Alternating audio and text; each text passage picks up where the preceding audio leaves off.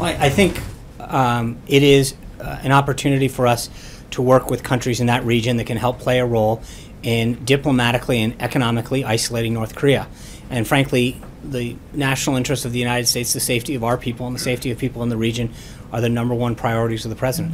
Did the president know about those comments and about his record of human rights abuses when he extended the invitation for him to visit the White House? I mean, the president gets fully briefed on the leaders that he's speaking to, obviously, but the number one concern of this president is to make sure that we do everything we can um, to protect our people and specifically to economically and diplomatically isolate uh, North Korea. And I think when you look at um, what he is doing in terms of building that coalition of countries in that region to do it, I think this is hopefully going to have well, he knows. Yeah, I mean, I'm not going to tell you every single thing that's in his brief, but he's well aware of when he when he speaks with a leader.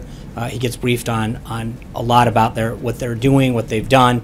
Um, that's all part of uh, of the brief. Uh, today, the president told Bloomberg he was open to meeting with Kim Jong Un uh, if the conditions were right. How does the president uh, define the right condition to have this meeting? Well, there's a lot of things that go along with that, and I think that's the key thing. Under the under the right circumstances was, I believe, the phrase used, um, and I think that is something in keeping with with our poli- uh, with consistent with the policy expressed by Secretary Tillerson as well.